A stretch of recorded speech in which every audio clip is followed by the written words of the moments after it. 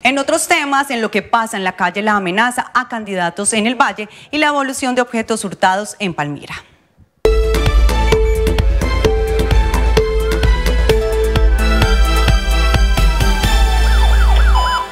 Dos candidatos a las alcaldías están amenazados en el Valle, uno en Tuluá y otro en Trujillo. Por eso el gobierno regional hizo un llamado a los candidatos para los comicios regionales a que denuncien ante las autoridades y a través de los canales institucionales en caso de ser víctimas de amenazas, violencia o delitos electorales.